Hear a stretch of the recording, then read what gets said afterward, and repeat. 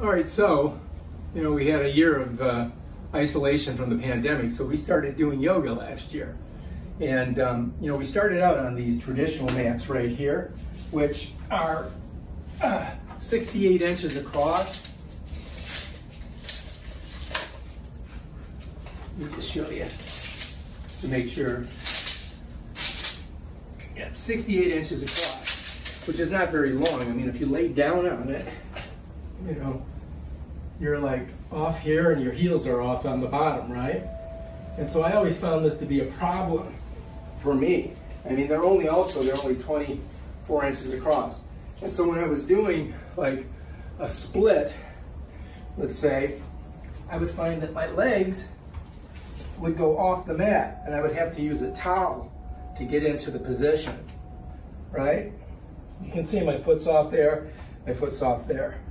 So I went online to try to find a solution for it. And I found these mats, which is really cool because this mat is 32 inches across and believe it or not, it's seven feet long. So unless you're an NBA football player, I mean a basketball player, you're gonna be in pretty good shape with this mat. And uh, let me just go. So this one's 84 inches, which is uh, which is uh, seven feet. So just to give you an idea, look, check it out. So when you're finished, you know, at the end, when they always make you lay down and relax, here you are. I mean, your hands aren't off the mat. You can keep them right here. And my head, I got lots of room here, got lots of room there, right? And this mat has this really good grip on it. And it's like two ply. It's a little bit thicker than this one right here. And uh, so then if I go into my split, when I want to do my split, you know, I'm getting pretty good. I got lots of room to do it, right? Same thing for a lateral split too. Lots of room. I mean, I've got like an inch over here. If I get over this way, I'm gonna end up with more than enough room to do my techniques.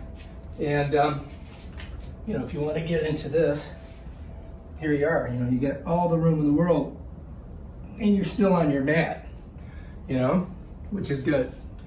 Um, this one here, not so much. I always ended up having to position myself so that I could, you know, have more room, you know, and then I'd always end up off the mat. So, and on the splits. So these, they're good. They're not as thick as this one. I mean, they work, but I found that this one here is a much better mat. And it's great. I mean, it's got good grip. So let's say you're doing your poses, right? You know, your downward facing dog. Get excellent grip on it. You know, very good. And if you're going into even more difficult poses, it's really good. It's got that little bit of extra padding and bam, you can nail them, no problem. So I highly recommend this bad boy. I would definitely go out and buy one because it is bigger than you are. and you know, it's long. Look, check it out. And, and here's the thing. I have a 30, I got a 29 inch wet inseam. So when I do splits, I mean, it's shorter than most people. Most people are, you know, 30, 31, 32. So they're like two or three inches even farther off the mat. So this is a good mat for everybody. I think the reason that you don't see these is I don't know if the yoga places like you taking up as much space you know, with big mats. But, um, you know, we don't redo it here. Now, the other, other mat I wanted to show you was this one right here.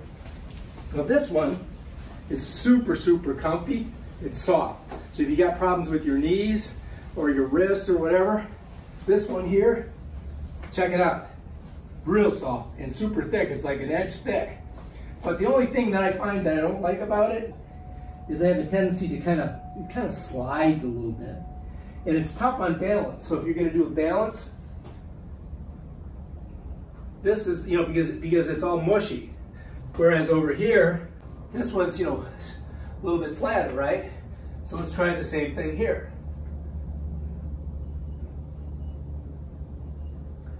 So it's a lot easier to do your balance things on this type of mat here. And this one here is the best, I think. Got some dirt on there.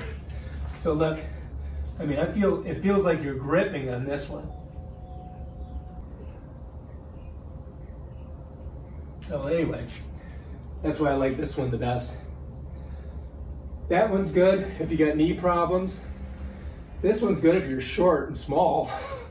this one's good if you're a regular person. And, uh, you know, I mean, when I do my splits on this, I've got ample room, ample room to do it. No problem. And then even when I get into a lateral position here, my feet don't go off the mat.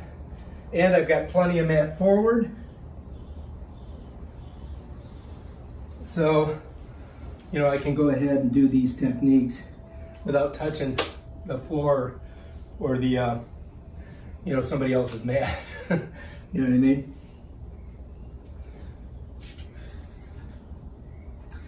So this one here, I really think you should check it out. Um, I think it was like 40 some dollars on Amazon. These are probably about 25 to 30. And these were like about 40 bucks too. These are a little bit bigger than this. If you notice over here, this one is even on the back, but you get about two more inches on it. So that's, you know, that one is a little bit longer, which is good. And, uh, you know, get the bigger mat. you know, gives you much more room. I mean, check it out. Look at me. I'm just chilling like a villain. And I'm thrilling. All right, if you like this video, subscribe to my channel and check out my other awesome videos. Peace out.